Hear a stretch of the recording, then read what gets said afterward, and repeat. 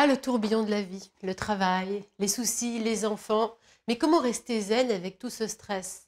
Déjà, on essaye de trouver un petit peu de temps pour s'occuper de soi. Ça passe par des micro-siestes, des petites méditations, des pauses, des petites pauses de 5 minutes dans la journée. Et voici quelques astuces pour aller encore plus loin. La zénitude, ça passe par la relaxation. Pourquoi? Parce que ça va ralentir votre débit cardiaque et ça va chasser le stress et l'anxiété. Alors comment on se relaxe? Déjà, on s'allonge. On peut le faire assis, mais je trouve que c'est plus facile de se relaxer allongé. Y a un petit coussin sous ma nuque. Voilà. On va faire une respiration diaphragmatique, c'est-à-dire qu'on respire, on inspire en gonflant son ventre et on expire en rentrant le nombril. Ça, ça nous permet de déjà bien se relaxer. Et puis, on va rajouter une image. Vous allez choisir un lieu qui vous inspire beaucoup de, sérénité, de zénitude. Soyez pas étonnés, moi j'ai choisi la plage. Donc je suis au bord d'une plage, il fait beau, et il y a des vagues. Et j'ai cette image dans la tête, je suis presque vraiment au bord de la mer. J'entends les vagues.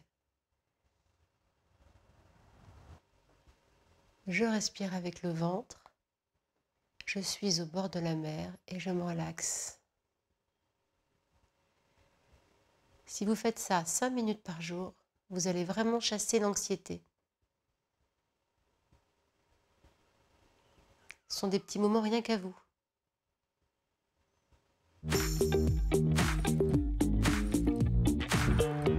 Pour rester zen côté cuisine, eh bien, je bannis les excitants, le café, l'alcool, les produits épicés, évidemment. Je privilégie les nutriments zen, les céréales, le poisson ou même les fruits secs. Et du coup, quand mes amis viennent à la maison, je leur concocte un apéro zen. Des concombres, des champignons de Paris, des carottes et des tomates. On peut aussi euh, mettre des tas d'autres légumes selon ses goûts. On les agrémente avec de la de l'houmous, c'est de la purée de pois chiches, c'est de la protéine végétale, c'est très bon. On peut faire aussi avec de la rillette de sardines. Et cette rillette de sardines, on va la faire ensemble. Donc vous prenez des sardines en boîte, tout simplement. Vous allez les égoutter. Voilà, il n'y a pas trop d'huile, donc c'est bien. Voilà, je vais tout mettre. Voilà. Ensuite, ça c'est du fromage frais que je mets avec mes sardines. Je mets des capres.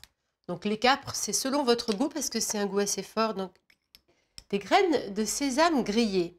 Ça va donner un petit côté craquant à vos rillettes. Ça va être très très bon. Coriandre, on l'appelle aussi le persil chinois. Et ça donne un petit goût exotique que j'aime beaucoup moi. Et le jus d'un demi-citron pressé. Et ensuite, c'est très simple, il suffit d'écraser tout ça, de mélanger tout ça. Voilà. Deux options. Soit vous présentez vos rillettes de sardines à vos invités sur un petit toast grillé, soit c'est un petit peu plus light et c'est sur un concombre. Perso, je vais tester le concombre. Hmm. Et mon petit truc en plus, c'est de rajouter des noix du Brésil, des amandes, des noisettes. Championne toutes catégories pour un moral au beau fixe. À très vite.